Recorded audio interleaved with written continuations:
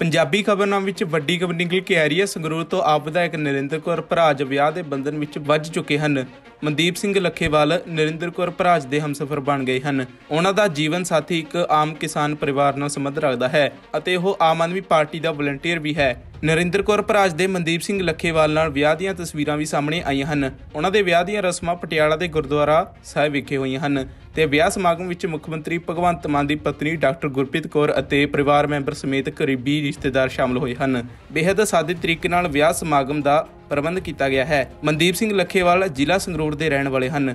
ਉਹ ਪਿਛਲੇ ਕਈ ਸਾਲਾਂ ਤੋਂ ਆਮ ਆਦਮੀ ਪਾਰਟੀ ਵਿੱਚ ਸੇਵਾ ਨਿਭਾ ਰਹੇ ਹਨ। ਆਮ ਆਦਮੀ ਪਾਰਟੀ ਦੀ ਵਿਧਾਇਕ ਨਰਿੰਦਰ ਕੌਰ ਭਰਾਜ ਦੇ ਚੋਣਾਂ ਵੇਲੇ ਵੀ ਮਨਦੀਪ ਸਿੰਘ ਲੱਖੇਵਾਲ ਨੇ ਅਹਿਮ ਭੂਮਿਕਾ ਨਿਭਾਈ ਤੇ ਡਟ ਕੇ ਸਾਥ ਦਿੱਤਾ। ਦੱਸਦੇ ਕਿ ਵਿਧਾਨ ਸਭਾ ਹਲ- ਹਲਕਾ ਸੰਗਰੂਰ ਤੋਂ ਆਮ ਕਿਸਾਨ ਪਰਿਵਾਰ ਦੀ ਧੀ ਨਰਿੰਦਰ ਕੌਰ ਭਰਾਜ ਨੇ ਪਹਿਲੀ ਵਾਰ ਵਿਧਾਨ ਸਭਾ ਚੋਣਾਂ ਲੜੀਆਂ ਤੇ ਰਿਕਾਰਡ ਤੋੜ ਵੋਟਾਂ ਨਾਲ ਜਿੱਤ ਹਾਸਲ ਕੀਤੀ। ਨਰਿੰਦਰ ਕੌਰ ਭਰਾਜ ਪੰਜਾਬ ਵਿੱਚ ਸਭ ਤੋਂ ਘੱਟ 27 ਸਾਲਾਂ ਦੀ ਉਮਰ ਵਿੱਚ ਵਿਧਾਇਕ ਬਣੇ ਹਨ। ਉਹਨਾਂ ਨੇ ਆਪਣੀ ਨਾਮਜ਼ਦਗੀ ਪੱਤਰ ਐਕਟਿਵਾ ਸਕੂਟਰੀ ਤੇ ਜਾ ਕੇ ਭਰੇ ਅਤੇ ਚੋਣ ਪ੍ਰਚਾਰ ਦੌਰਾਨ ਵੀ ਉਹ ਆਮ ਲੋਕਾਂ ਵਿੱਚ ਵਿਚਰਦੀ ਰਹੀ। ਉਹਨਾਂ ਨੇ ਪੰਜਾਬੀ ਯੂਨੀਵਰਸਿਟੀ ਪਟਿਆਲਾ ਤੋਂ ਐਲਐਲਬੀ ਕੀਤੀ ਹੈ।